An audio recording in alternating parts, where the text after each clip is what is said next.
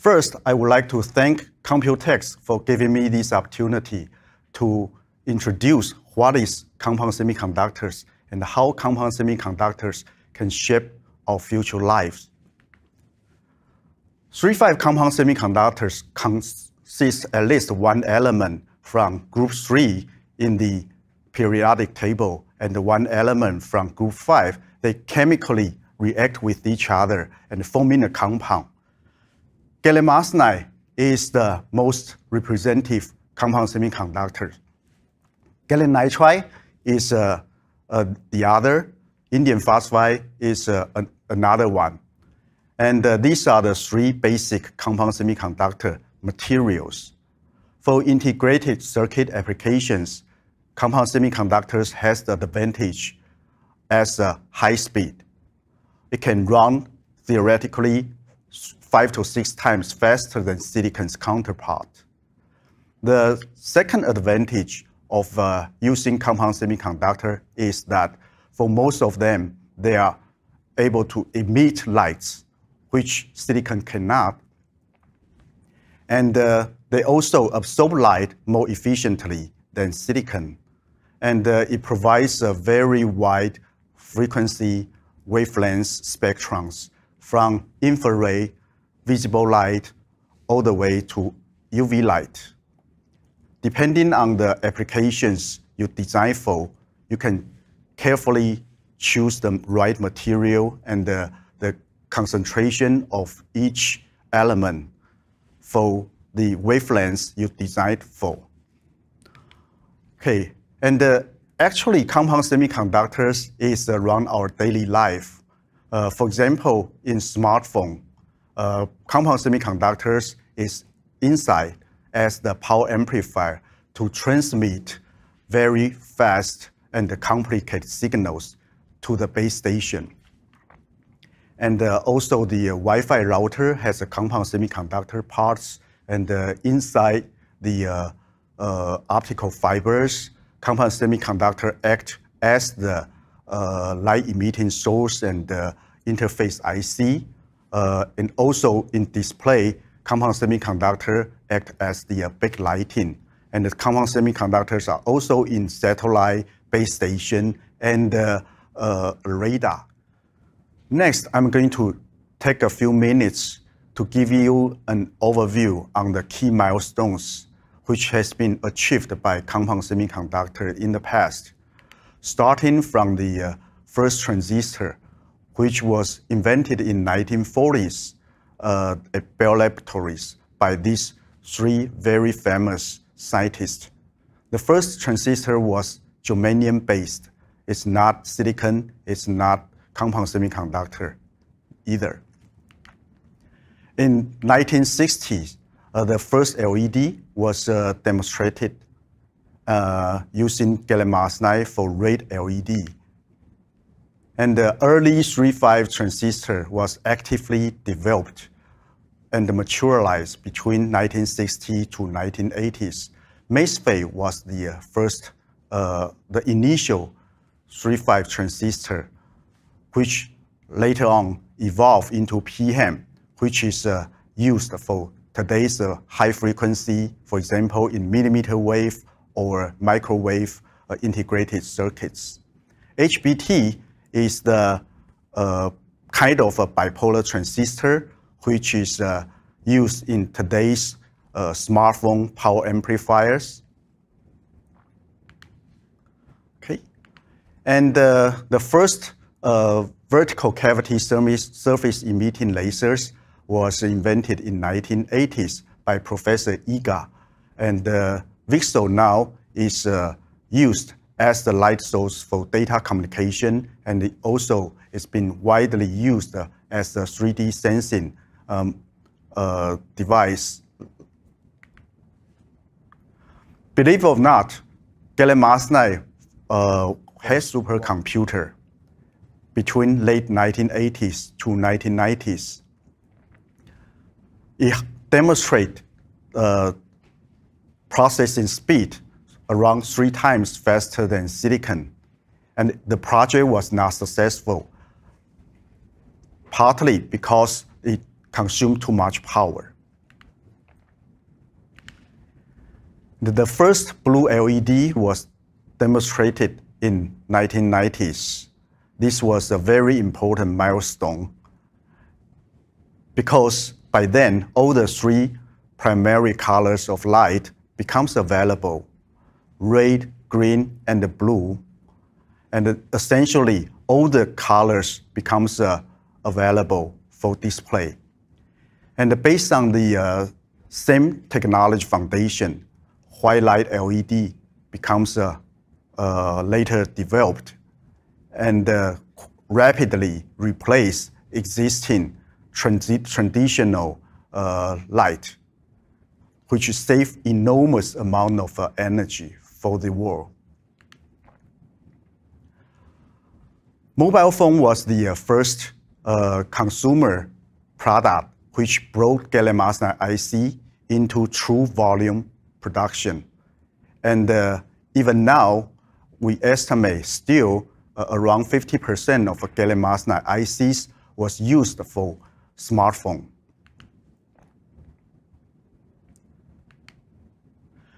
Compound semiconductors are widely used in satellite communication in both space and the ground terminals for transmitting and receiving signal purpose. Compound semiconductors certainly help to make satellite commercialize possible. In 2017, iPhone for the first time introduced Face ID product using VCSEL as the light source for 3D sensing device. And this was the first time in the world gallium arsenide VCSEL was in true volume production on 6-inch gallium arsenide wafer at WIN Semiconductors. 5G smartphone contains a, a lot more uh, compound semiconductor contents simply because there are newly created frequency band uh, for 5G and therefore needs a more uh, gallium arsenide power amplifier inside per phone. This year, Mini LED was introduced as the big backlighting for uh, flagship tablet as the display. This certainly brings the display technology to the next level. We believe in the coming few years, maybe uh, micro LED will come out and further advance the display technology. It's worth to mention that today the world's fastest transistor is done by compound semiconductor with frequency response greater than 1 terahertz, which is 1000 gigahertz, incredibly fast. Next, let's watch a short video on how future life might look like wireless communications connect our lives at increasing speed. Compound semiconductors enable wireless connectivity and make possible a new generation of image sensing. It not only contributes to the rapid evolution of society, but also expands the public's vision of the future. Technology evolves to provide a more productive lifestyle and benefits from the advantage of compound semiconductors. Okay, from the video, we see the ubiquitous access of internet has become a lifestyle. We expect to live in a safer and a more secure life with environmental uh, friendly green energies. This lifestyle translates into enabling technologies which must be able to provide seamless connectivity and smart sensing devices to keep our life safe and uh, secured. We also need power efficient devices to be environmental friendly. Let's see how compound semiconductors are able to contribute on each aspect. Starting from smart sensing devices. There are three types light sources for 3D sensing technology, LED, VCSEL, and the edge-emitting lasers. Each has their own advantages over the other two. VCSEL is the most widely used light source today, however.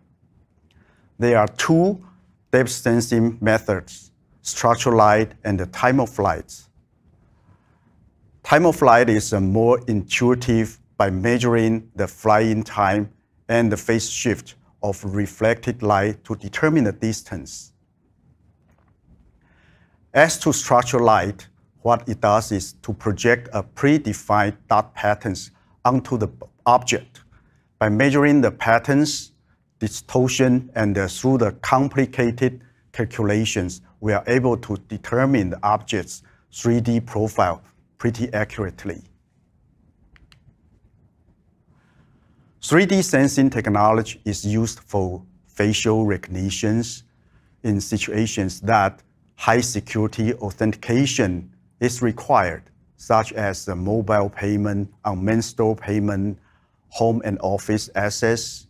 It can also be used to monitor and control traffic or crime prevention purpose in smart city scenario. Besides the facial recognition, other biometric applications such as heart rate and the blood oxygen level detection on wearable devices becomes very useful to monitor personal health condition. And the eye tracking and the under-screen fingerprint are another two examples among many others. AR is an emerging application for 3D sensing. It helps to provide a better immersive experience for AR. It has been used in shopping, entertainment, education, training, and uh, medical treatment. And it is expected to be adopted by wearable devices in the future. Automotive is probably the most attractive applications for 3D sensing technology. LiDAR is a kind of uh, 3D sensing devices for automobile to assist driver for safe navigation and collision avoidance. Ultimately, we believe LiDAR will be used in autonomous car in years to come. The initial use cases include unmanned last mile delivery and uh, robot taxi, self-driving bus, and the picture in the center shows the uh, Taiwan's first self-driving bus launched this year, running on normal road in daytime. And the driver monitoring system, DMS, provides a real-time evaluation of the driver's status to ensure the driver is in a good condition for driving by detecting, for example, if the driver's eyes uh, are closed or if the driver is falling asleep by nodding his head and provide a warning to the driver. 3D sensing device serve as a function of machines and uh, robots' eyes. It helps to provide rapid and uh, accurate positional information for robots which makes factory automation a lot more efficient and largely increase productivity. Now we switch gear to the second aspect, power and efficiency.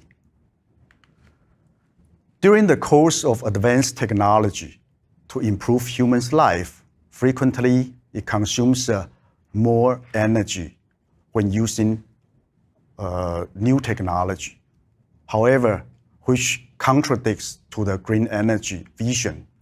Let's see how compound semiconductors can help to address this dilemma.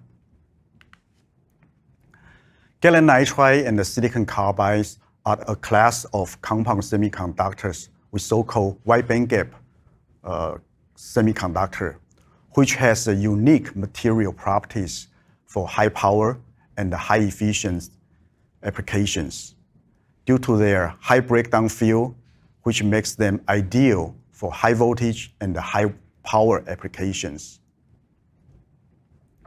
Silicon carbide has extremely good thermal conductivity, which is helpful to dissipate generated heat during operation. Therefore, power efficiency can be greatly improved using silicon carbide. high electron velocity makes both gallium nitride and the silicon carbide ideal materials for high frequency and fast switching power applications.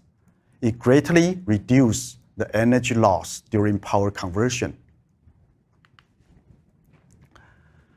This page shows the uh, applications for gallium nitride and silicon carbide.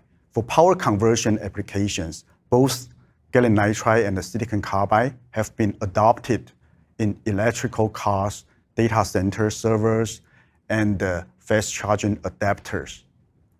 Gallium nitride devices are used for 5G base station, power amplifiers, communication satellite, and even defense applications. Refrigerators, air conditioners, TV, and illuminations are the top four most energy consuming household appliances. Collectively, they consume around 50% of household electricity. Compound semiconductor devices help to greatly reduce energy loss. For example, using compound semiconductor power inverters, the energy loss can be reduced more than 80% for refrigerators and air conditioners. LED is able to reduce the electricity consumption if used as the backlight for TV and to replace conventional incandescent lamps.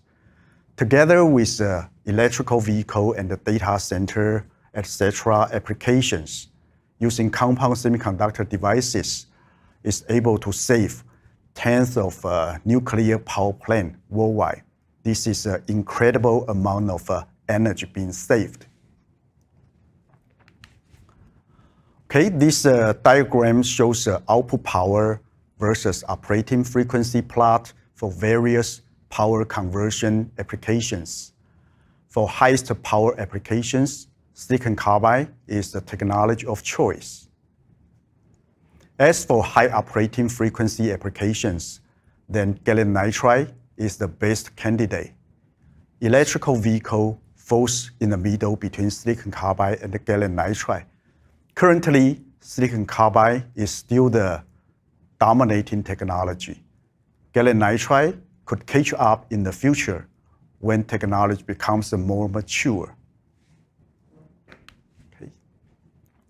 There are still many technology challenges for gallium nitride, ranging from substrate to epitaxial material processing reliability to packaging.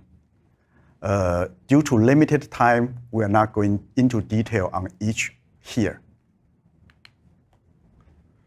The third aspect is ubiquitous internet access. Ubiquitous internet access has become a vision and a must for modern lifestyle. We want to be able to access internet anytime, anywhere. And uh, compound semiconductors can certainly help to realize this vision.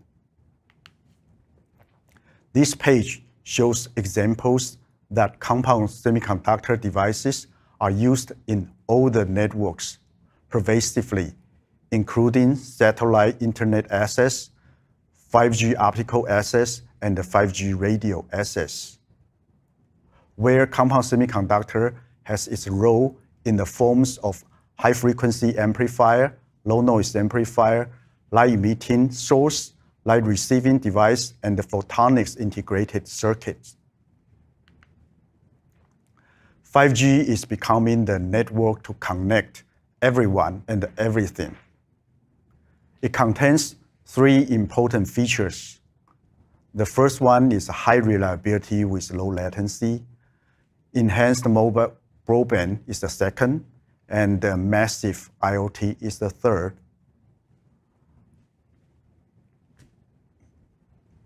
In terms of uh, frequency spectrum, 5G needs a millimeter wave frequency, which is uh, around 30 gigahertz or above, to provide large bandwidth for high data rate transmission. However, the coverage is very limited.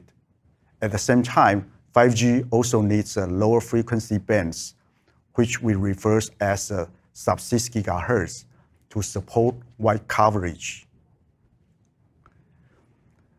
Both millimeter wave and uh, uh, sub-6 gigahertz are required to make a 5G network complete.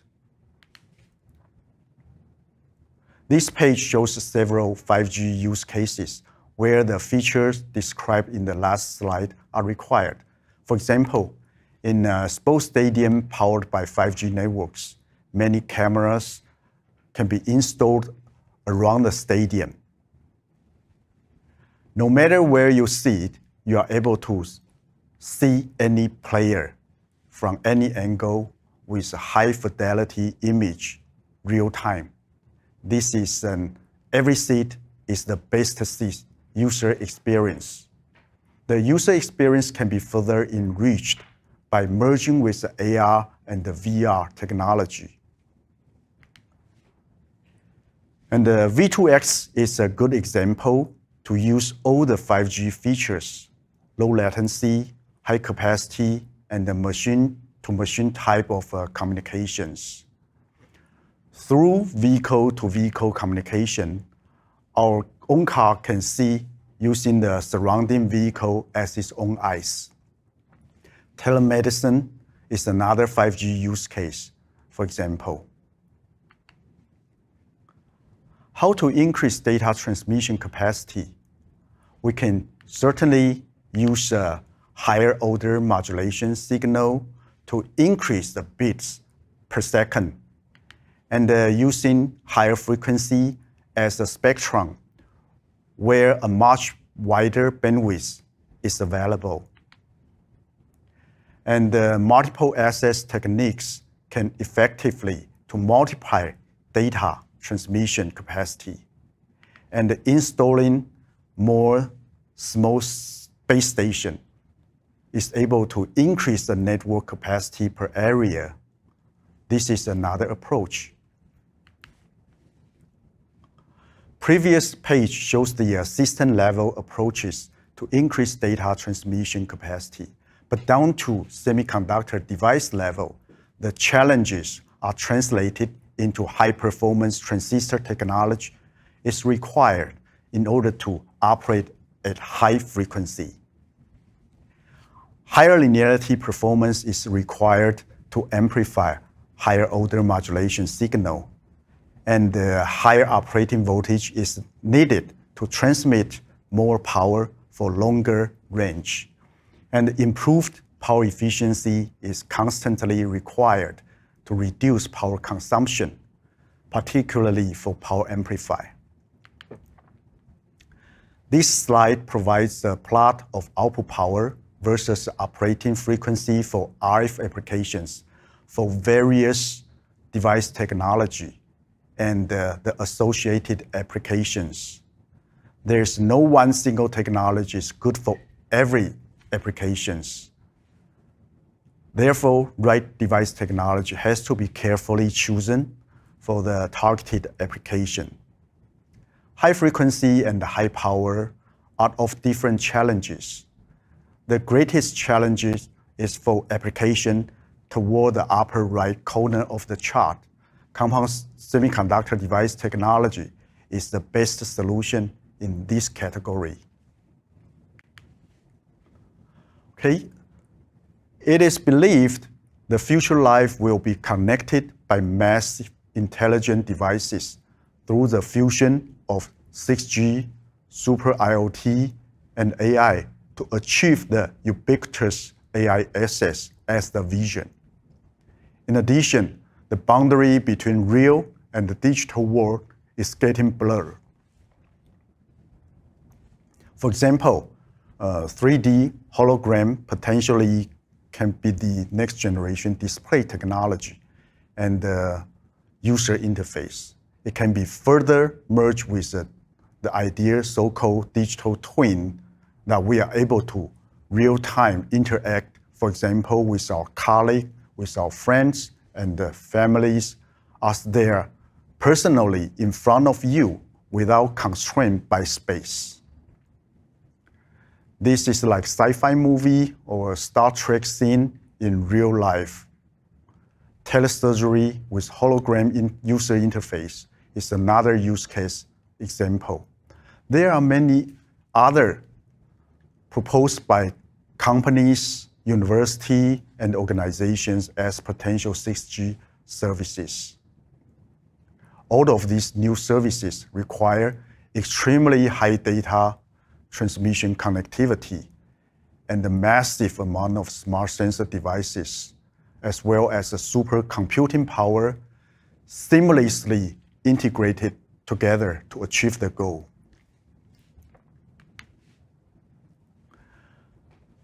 Moving towards 6G, according to Cisco's uh, index, global mobile data traffic grew at a compound annual growth rate of 46% in the past five years. If we extrapolate using the same rate 10 years from now, the mobile data traffic will be 44 times of today's data traffic. This implied an unprecedented stringent performance requirement is needed for next generation network.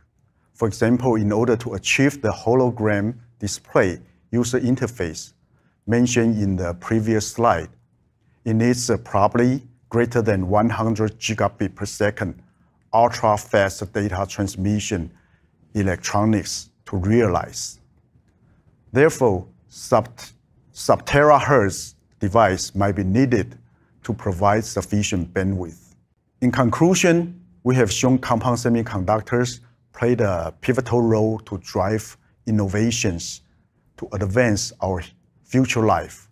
It is believed we are still in an initial stage for another disrupt, disruptive growth on compound semiconductors. This is driven by innovative emerging applications which require enormous frequency bandwidth and uh, high performance smart sensors. These are exactly the strengths of compound semiconductor, and it is expected compound semiconductor is going to play an increasingly important role in our future life. Thank you.